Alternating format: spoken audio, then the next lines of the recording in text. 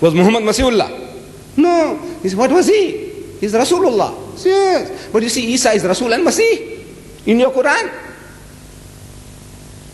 Rasulan ila Bani Israel. He's Rasul to Bani Israel and he's Masih.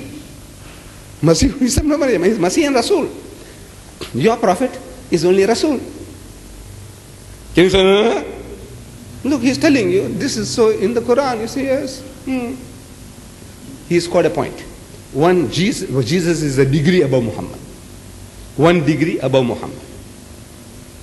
He's not telling you that, but he's proved it to you. See, you know, Jesus was born miraculously, without any male intervention, without a man. You believe that? Yes. He was born miraculously. Was Muhammad so born? Was Muhammad born like that? No. He had a father and a mother. No? Yes. Another degree for Jesus. You know, Jesus, he gave life to the dead. What do you say? Biiznillah. By Allah's. Did Muhammad give life to the dead? Biiznillah. He says, no. Not that I know. Another degree for Jesus. Where is your Prophet Muhammad? Now, he is buried in Medina. Perhaps his bones have rotted in the grave. So no, we believe he's Hayatul Nabi, he's a living prophet. I say, yes, that's metaphysically, spiritually, but physically, maybe his bones have rotted in the grave. So you say, maybe, maybe. Where is Jesus? He's in heaven. He's coming back. I said, yes. He's alive. I said, yes. He's coming back. I said, yes. I said, don't you think God had a purpose in doing all that? He does things for nothing. Huh? Without purpose, he does all this. You know, around the corner, next week or so, you're having Idul Adha, Qurbani. Oh, two weeks' time. You're going to have some big fight going on. I'm glad I'll be away. But when the Qurbani time comes, you look for a sheep or a goat or a cow without any flaw, without blemish, horn not broken, ear not cut, not blind, not limping, right? Yes. So if God Almighty wants to make a sacrifice for His creation, is He going to look for second best? Hmm? Will He look for second best? When you look for the best for Qurbani, Allah is going to look for second best. You know who's second best? He's proved it to you.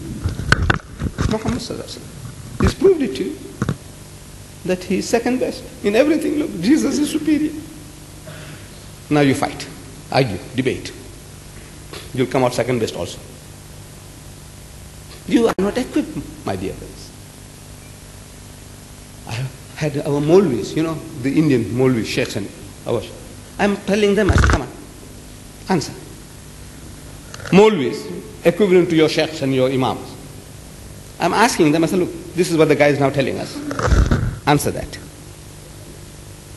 You just can't say, shh, shh, go away. You are man.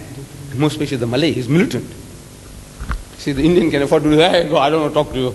Run away. But the Malay is a fighter. You see? And the fighter, when he loses, he loses very heavily. Yeah, so. That guy, then he opts to go the other side and he fights back to prove that he hasn't made a mistake. He's on the war path against all Muslims.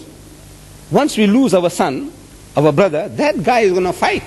Really fight. He's going to fight to convert everybody. He wants to prove to you he hasn't made a mistake. And the Christian has got a system. He's making him to memorize verses. And he goes out. I and my father are one. He that is in me has seen the Father. No man cometh unto the Father but by me. The fool might not know anything else, but he is programmed. This is the method. They have methods. They work. We, we convert somebody, all right. You say, Friday, you know, come to the salat. And when you meet somebody, say, Salaam alaikum. You know, and you shake hand like this, like that. Finish. We are satisfied. He's a Muslim now. No, they put you on the warpath. And there's no better way to entrench the guy into the religion than making him into a fighter. They make them into make you into fighters. How do you respond? How do you handle this? Look, our own internal trouble, trouble I said, look, brothers, you go to your sheikhs and imams, solve it with them. Please don't ask me questions. You tell me about the Christian, the Jew, the Hindu, the atheist. That guy said this, and how do we respond? This guy here, you know, he hit me like this. How do I defend myself next time? That is my job. And for that, I have written small booklets, tracts. Christ in Islam. Free, wallah, it's free. Go and pick it up from Rossby supermarket. Crucifixion or Cruci-fiction. Free. Is the Bible God's word? Free. What the Bible says about Muhammad? Free. But you too, oh, don't use the word, too lazy. You're too lazy to go and pick it up. Or you're too proud, too arrogant. You don't need it. It answers your problems, wallah. And it's so easy. It's like child's play. Once you know how to do the batting, it's like child's play. This being Christ, but see, being born miraculous, and miracles, it means nothing. Wallah, it means nothing. If you only know something about his book.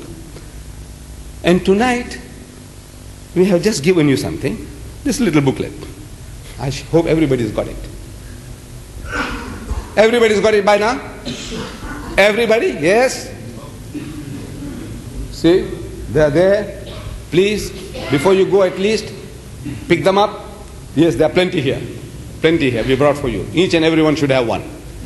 This little booklet, little piece of thing, 12 pages, only 12 pages, 6 actually, two sides makes it 12. Only 6 pages, 12 because you count both sides. 6 pages, 6 times 2 is 12. Otherwise, only 6 sheets, 6 sheets. You master this little booklet, there isn't a Christian born who can stand before you. Allah has given you that privilege. I give you this stone that you can crack the Jalut's skull. This is that little stone that Dawud salam picked up. When he went to fight Jalut, you remember? What did he fight with? A little pebble in his sling, and he cracked the Jalut's skull. This is that pebble intellectually. This is that pebble, that little stone. Inside here, it tells you. Very, very easy. It tells you how to talk to the Christian. You start. Any person you meet, any person you meet, you ask him a simple question. Innocent, very innocent question. What church you belong to? And it is so inoffensive. This question, what church you belong to? Because they are asking one another all the time, what church you belong to? Because there are a thousand churches among the whites of South Africa. Maybe the color is the same. The African has got 3,000 different churches. So they always ask, what church you belong to? What church you belong to? So it's an innocent question. You ask the, anybody. No, he said, no, I'm a Muslim. I said, sorry, I thought, you know, you were a Christian. Because you didn't have the kufiya. say, I don't know. You look like a color. You all look the same, don't you? We have among us from pure white to pure black. The colored also from pure white to pure black. From the looks we can't make out who's who. It's only when we have the kufiya on. So, say, I'm sorry. I thought, you know, you were a colored Christian. What church you belong to? So he gives you a name. Any name. You never heard the name in your life before. He's a Mennonite. You never heard it. He's a Christadelphian. You never heard it. He's a Mormon. You never heard it. Don't worry. Anything, he responds to your question. So what church you belong to? If he gives you an answer, that means he's your customer. Unless he says, I'm a Jew. Unless I'm a Hindu. Hmm. Unless he says, I, I don't believe in God. Then he's a different type of customer. But he's your customer. They're all our customers. But if he gives you an answer, he's your customer. So you ask him, well, you also believe that Christ died for your sins? Now that's a common denominator. Every Christian must believe, no man, there are hundred different, thousand different churches, but they all believe that Christ died for the sins. See, man is cowed by nature. He wants somebody else to carry his burden for him. I have a headache and you take the pill. I got a rotten appendix and operate yours and mine gets healed. This is man. Man is like that. If it can work, if it works, it doesn't work that way. But spiritually, they say it works. They go and commit incest with their own little three year olds, and Christ pays for it. Hitler killed six million Jews, and 40 million people died in the Second World War because of him. But if he believes in Christ, he goes to heaven. See, Christ paid for it all. This is their mentality. The greater the sin, they say the greater the redemption.